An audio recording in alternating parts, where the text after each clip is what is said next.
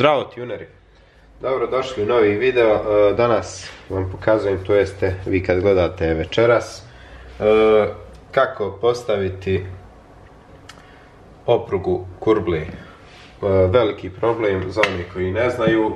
Ja dok sam bio u samim početcima, čak sam plaćao jednom majstoru 5 maraka da mi namjesti što je 2,5 eura i nije uopšte mala cifra za neku totalno bezveze glupost, uh, a i to se može dešavati bilo kome, tako da vam objasnim kako i šta funkcioniše.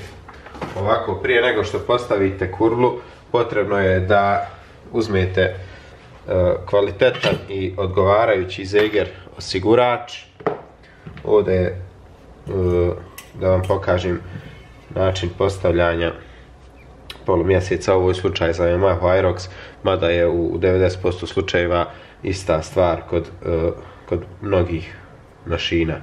Uh, znači, sama opruga se postavlja u ovom položaju, mada najbolje bi bilo da je odmah zapnete ovdje, da zapnete ovaj ovdje dio na ovu kao piksnu što ovdje stoji tako postavite. Ovdje unutra ima uh, također piksna kroz koju ide uh, polumjesec. Njeg također uh,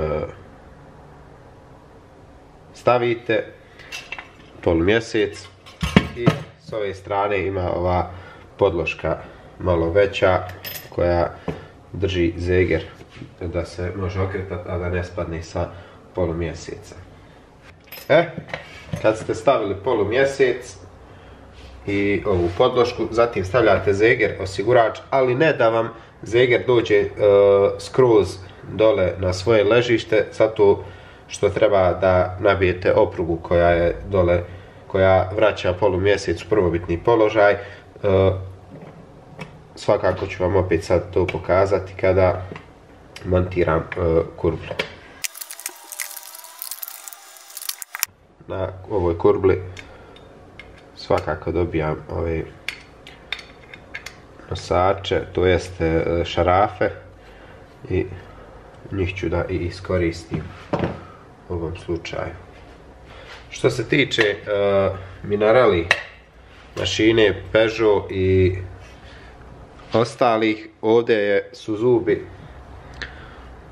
uh, samo da fokusira kamera, vidite kako su zubi čitavo, čitavim krugom uh, raspoređeni, dok je recimo u Piaggio mašina, uh, ovdje imate zube samo na jednom dijelu i tu kurlu je lakše staviti nego na Minareliju, jer ovdje postoji i mogućnost ukoliko lijepo ne stegnete ili uh, ukoliko nisu jednostavno legli zubci kako treba, kad zakurblate možete da uništite ovaj dio ovdje na kurbli, ove zareze, tako da morate biti pažljivi. Prije nego što krenete sa postavljanjem kurble, da bi ona bila na mjestu kojem je potrebno, ili možete i naknadno premjestiti kako vama odgovara, e, potrebno je da uzmete sam polumjesec ili piksnu polumjeseca i da okrenete suprotnu kazaljku na satu i da ona udari maksimalno koliko može u ovaj graničnik. E, I sad kada e, montirate kurblu, ona će da se vraća u, položaj koji je odgovarajući za kurblanje. Prije toga morate zeger osigurač da lijepo, to sam zaboravio, morat ćete ga dole da povučete koliko može i da bude suprotno od ovog unutrašnjeg dijela da bi mogli da postavite samo osigurač. E, kad ste montirali, e, to jeste stavili na odgovarajuće mjesto zeger osigurač, onda stavljate kurblu. Kad su zubci svi u redu i nije nijedan oštećen, onda je vrlo lako e, da nalegne kurbla kako treba. Zatim stežite e, šaraf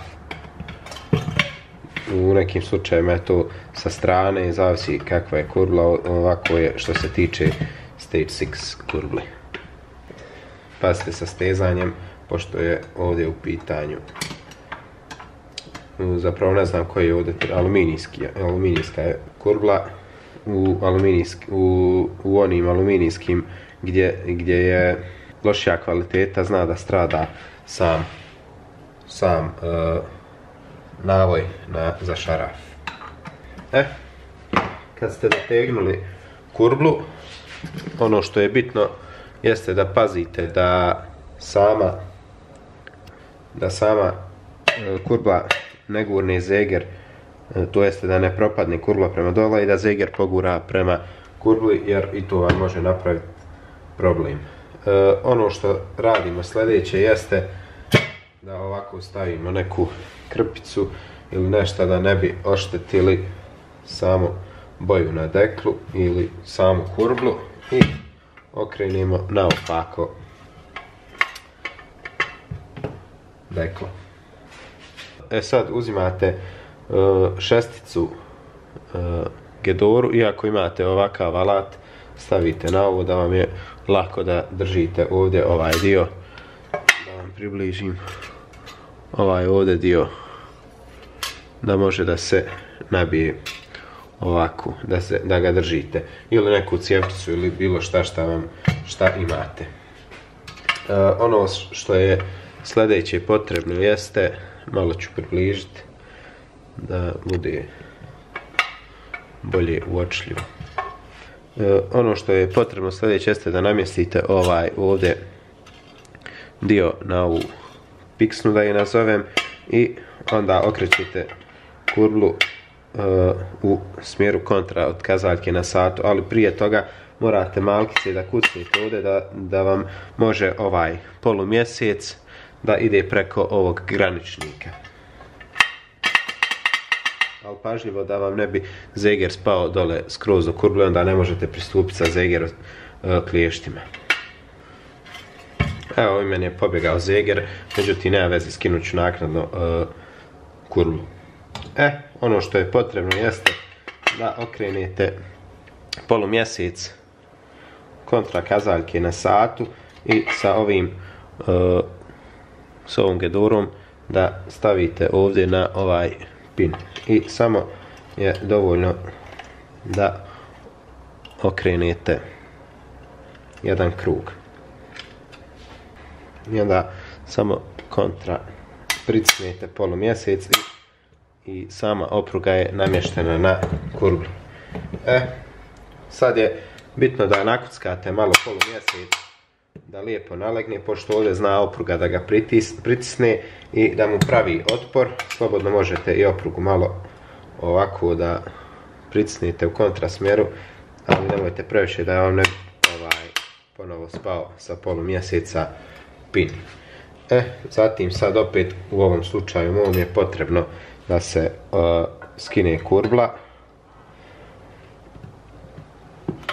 Ali to morate da odradite pažljivo, jer ako gurnete ponovo polumjesec prema dole, imat ćete slučaj da ćete ponovo morati ovaj postupak čitav da odradite.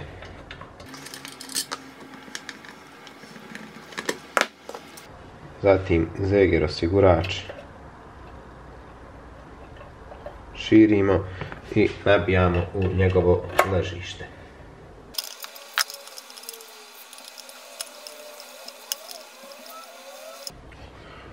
E, kad ste to stavili, opet provjerite nazad da li je sve na svojem mjestu, u ovom slučaju jeste.